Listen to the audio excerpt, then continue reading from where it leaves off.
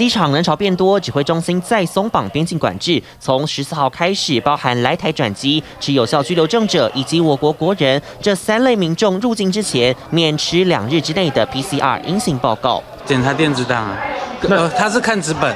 嗯，那你觉得台湾就不看是好事吗？还是？我觉得还是看一下比较安全吧。觉得各有好有坏吧，有就是保多一层保护嘛。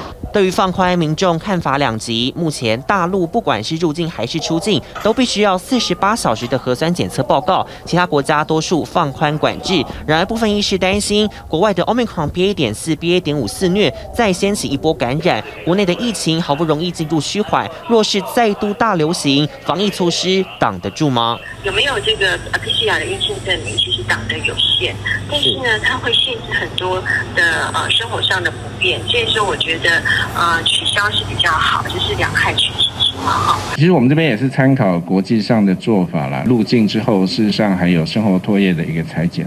那后续还有三加四的一个呃检疫的检疫跟自主防疫的一个措施哈，那这个部分都都可以在针对这些可能的一个进入了的一个呃境外一个案来做这个呃侦测到。指挥中心强调，还是有防疫措施把关，未来还有机会开放零加七，只要做好个人防疫，注意监测疫情，就能挺过。TVBS 新闻林志伟、黄凯进桃园采访报道，请支持 TVBS 国际 Plus 全新频道，让您扩大。视野掌握趋势，接轨全世界，恳请订阅，开启小铃铛。